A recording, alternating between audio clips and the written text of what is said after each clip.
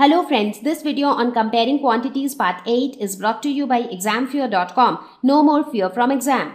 We have learned the basic concepts of profit loss percentage and in fact usage of percentages. Let us try some problems. Question number 1. The cost of an article was rupees 15,500. Rupees 450 were spent on its repairs. If it is sold for a profit of 15%, find the selling price of the article. So when you look at this problem, the cost price of the article is given as rupees 15,500. Now we have spent rupees 450 on its repairs. Now before we are selling it, we are also spending this extra money on that article. That means this repair cost is actually getting added to your cost price because in a way you are paying 15500 to buy that article. But again you are repairing certain things. So that is also your cost because you are spending it. So this 450 will also get added to the cost price. So the, your net cost price would be 15950 now it is sold for a profit of 15%. So profit percentage is given as 15% and we have to find out the selling price of the article. Now we know that profit percent is equal to the profit in price divided by cost price because profit always happens on the cost price into 100. Now profit percent is 15 is equal to profit divided by cost price which is 15,950 into 100.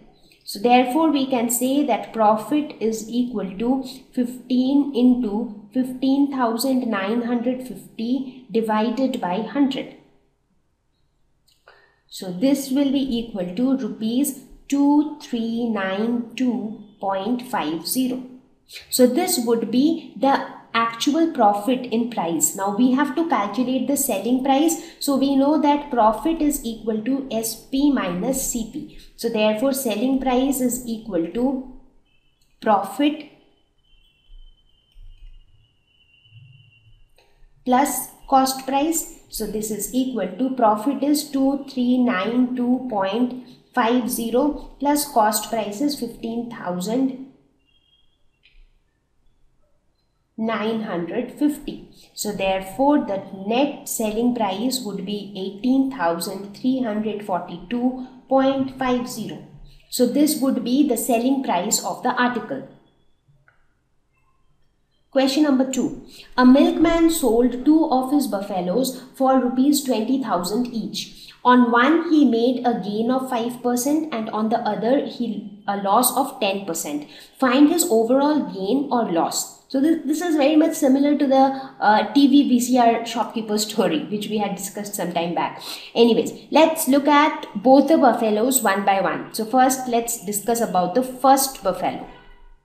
So for the first buffalo, what is its selling price? Here he sold the buffaloes for rupees 20,000. So the selling price is equal to rupees 20,000 and on this he made a gain of 5%. So therefore the profit percentage or gain percentage is equal to 5%. So we know that gain percent or profit percent is equal to the actual gain divided by cost price into 100. But in this problem cost price is not given but we need to calculate the cost price to find out overall whether it was a gain or a loss. Now we can also say that cost instead of writing cost price we can write it as selling price minus gain because that is what it is right so into 100 now let us assume so since we do not know what is the gain so instead of writing gain gain again and again let's do one thing instead of gain let's assume that the gain is rupees x so it becomes easier for us to write. So gain percentage is 5%. So 5 is equal to x divided by selling price is 20,000 minus x into 100. So we can write 5 into 20,000 minus x is equal to 100x. Therefore, we can say 100000. 100,000 is equal to 100x plus 5x. Therefore, x is equal to 100 1000 divided by 105 which is equal to 952.38. So what is this? 952.38 is the gain on the first buffalo. So therefore what would be the cost price of the first buffalo? It would be the selling price which is rupees 20,000 minus the gain that is to 952.38. So this is equal to rupees 19047.62. So this is the cost price of the first buffalo. Now let us do the same thing for the second buffalo. So now we talk about the second buffalo. Now for the second buffalo also selling price is rupees 20,000 and this time there is a loss and the loss percentage is 10%. So with this again we will do a similar procedure loss percent is equal to loss divided by CP. Instead of CP we can write it as selling price plus loss because loss is CP minus SP. So CP is equal to loss plus SP. So this into 100. Again, let us assume that the loss is L. So loss percentage is 10. Let's assume that loss is L divided by SP which is 20,000 plus L into 100. So therefore this would be 10 into 20,000 plus L is equal to 100L.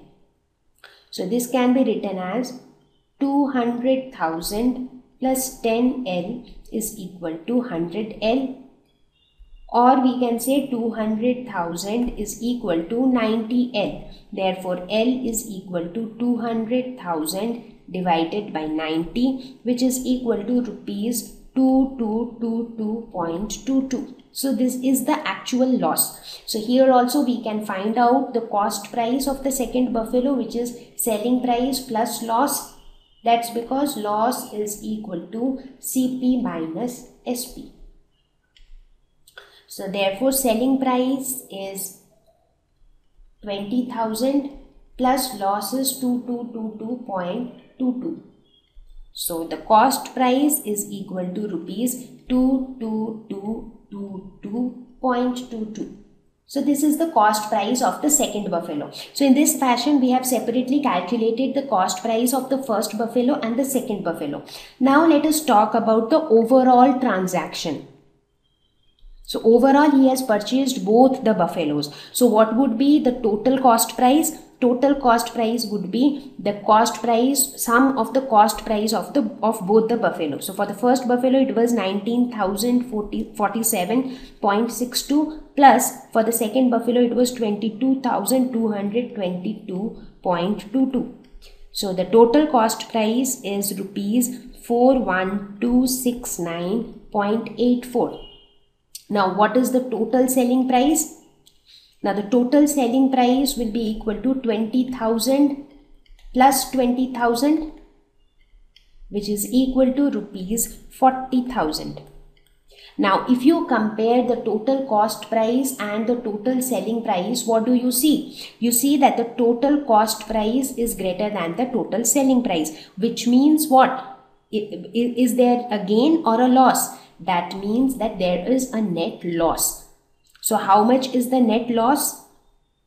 So the net loss is equal to CP minus SP that is equal to rupees 41269.84 minus 40,000 which is equal to rupees 1269.84. So this is the net loss in price on this whole transaction. Question number three. Arun bought a pair of skates at a sale where the discount given was 20%. If the amount he pays is rupees 1600, find the marked price. Okay, so we do not know the marked price, but we know that discount is always given on the marked price. And whatever he has paid is the amount which is after discount, right? So in this case, the marked price is not known.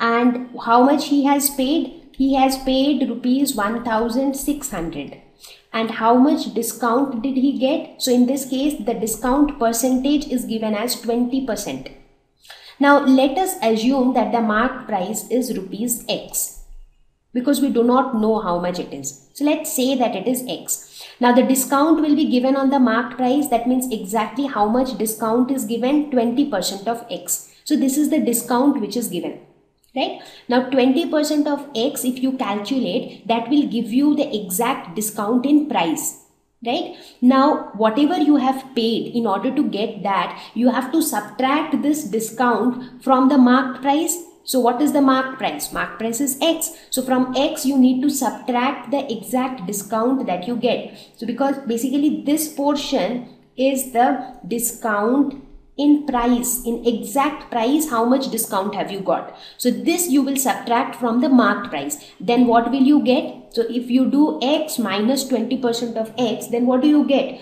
You get the amount that you need to pay to the shopkeeper. So this was the marked price the original price. From this you subtract your discount. And discount is 20% of the marked price so this is equal to 1600 as per the question.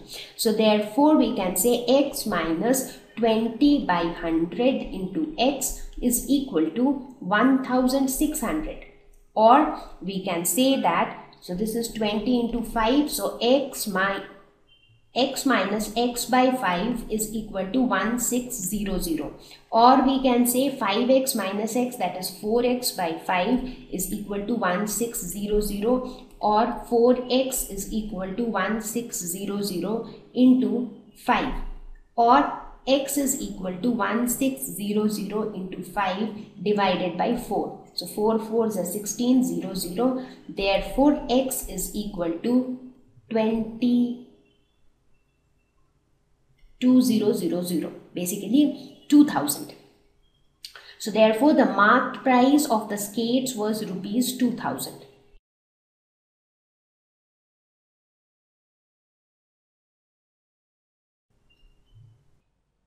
Thank you. Please visit examfear.com for free quality education. You can learn with a simple four-step learning process wherein you can watch video lessons, you can ask your questions, you can refer notes and you can take a free online test. We have content for class 6 to 12 on physics, chemistry, mathematics and biology along with practical videos. So please subscribe to our channel for daily updates. Thank you.